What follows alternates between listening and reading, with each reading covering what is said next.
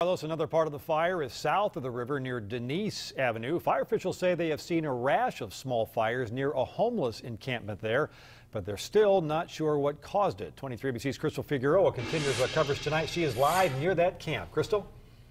Todd, unfortunately, fire crews say it is simply too early into their investigation to actually link that rash of fires with perhaps the people who are making this area their home. But we've been surveying the area, and this is just how quickly this fire has uh, swept through this area off of Denise. You can see this bush here on the bottom, it's all charred. But as you move to the top, all of that didn't even get a chance to catch on fire because the wind is moving through this area so quickly. It just pushed this fire and didn't even let this entire bush uh, get burned. But the entire area, as you can see, this is what is left of the fire that started just before 2.30 this afternoon in the area of Manor and Denise Avenue, just south of the river. Everything is completely charred. Uh, about an hour ago, everything seemed to be under control.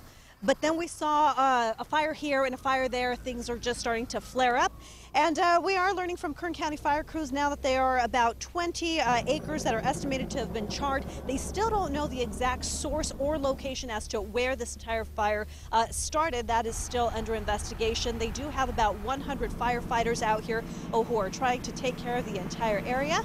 And uh, we now know that they are expecting this entire fire to be contained by about 6.30 tonight. We saw a busload of uh, new firefighters who came in. About 20 of them grabbed their shovels, their hose. They came into the area to try and put uh, everything away. So if there is any good news coming out of this is that no structures were burned and no reported injuries have been filed with uh, Kern County Fire. We're going to stay out here and keep it on 23 ABC. Don't forget to visit our website, turnto23.com. We will be keeping you up to date with all the very latest information. Reporting live, I'm Crystal Figueroa, 23 ABC.